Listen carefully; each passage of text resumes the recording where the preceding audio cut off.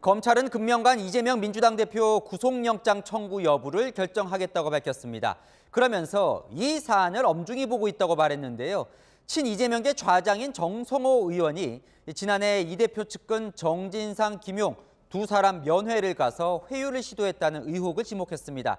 정 의원은 검찰이 언론 플레이를 한다고 반박했습니다. 우현기 기자입니다.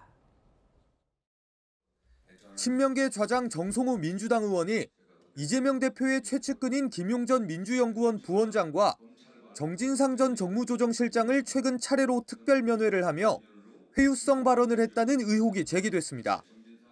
지난해 12월 9일 김 전 부원장을 찾아가 알리바이가 중요하다고 했고 지난달 18일에는 정 전 실장을 면회하며 마음 흔들리지 마라.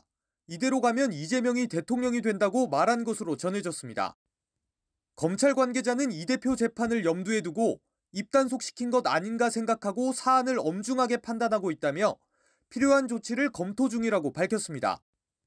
정 의원은 위로의 말을 전한 것일 뿐 교도관이 듣고 있는데 어떻게 회유를 하겠냐며 반박했습니다. 오히려 검찰이 사적 대화를 유출했다며 검사가 아니라 깡패라고 비난했습니다. 검찰의 지휘를 받는 교도관이 입회하고 감독하고 있는 이런 상황에서 했던 얘기를 갖고 그걸 언론에다 유출해 갖고서 하는 이게 검찰의 저희가 뭐냐고 이겁니다, 사실. 김 전 부원장과 정 전 실장 측도 회유 의혹을 부인했는데 민주당은 이 대표 구속영장 청구를 위해 억지로 구속 사유를 지어내려는 것이라고 비판했습니다. 국민의힘은 이 대표 지시로 면회가 이루어진 것이 아니냐며 공세를 펼쳤습니다. 채널A 뉴스 우현계입니다.